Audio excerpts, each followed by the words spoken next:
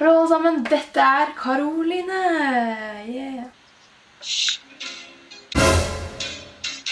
Hvis dere ikke har funnet ut hva det skal være, så har jeg ting for deg her. Jeg skal nå vise dere siste minutt hvordan dere kan sminke dere til Halloween, men med en vri. Hvis jeg for å vise dere ett minutt sminkelooker til Halloween, så har jeg tenkt å søke det opp på Google, se hva som kommer opp, og sjekke om det faktisk bare bruker ett minutt på å gjøre det. Nå er det huset som jeg og Mari sover i, men Mari er ikke her. Hun er hjemme hos seg og gjør seg klar fordi vi skal gå knask eller knep, og så skal vi eh, ha fest, fest i det huset her. Så jeg griper sjansen til å låne sminkefjerneren til Mari, kamera og kamerastativet.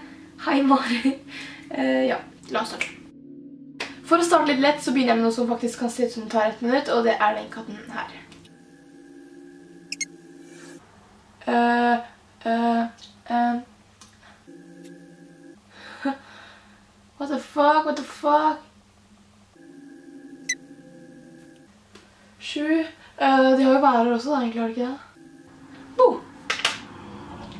Når man begynner å slite med det som ser lettest ut, så lurer jeg på hvordan det skal gå når jeg prøver en av de andre her.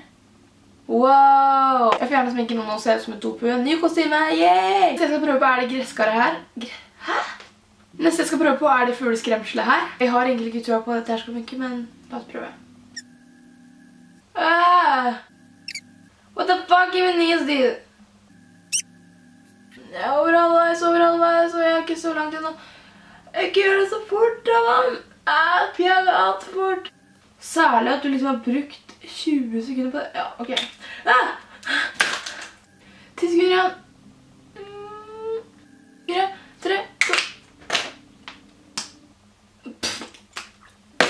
Ah.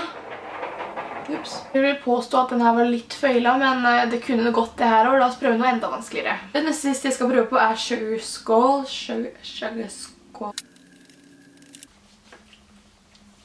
Kommer så til å ødelegge meg selv. Kom igjen, Karo. Eh, Det der går overhodet ikke å gjøre på ett minutt. Jeg gjorde det så fort jeg kunne, og det var ikke sjans engang. Så la oss hakke ned litt, eller kanskje rakke opp med en sånn der eh, tegneseriejente, sånn her. Jeg har absolutt ikke trua på at jeg kommer til å klare det på ett minutt heller. I hvert fall ikke godt gjennomført, men kanskje gjennomført. Det får være sånn.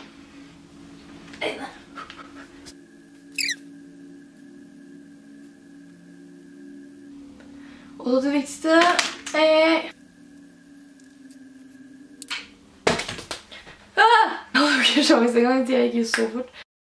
Jeg håper dere videoen gjerne gi en tommel opp og si hvilken av de fire lukkene dere synes var best gjennomført på ett minutt. Og så siden det er fredag så laster jeg opp video på Glitty Girls, og da kan dere gå der og se den jeg... Ja, jeg kom akkurat på at jeg har glemt å filme den videoen, så jeg må gjøre det nå. Jeg skal bare fort meg å dusje og få bort all sminken, og så skal jeg filme video til Glitty Girls fort. I kveld så må dere i hvert fall gå på Glitty Girls, så se den videoen som jeg kommer til å laste opp. Ha det bra.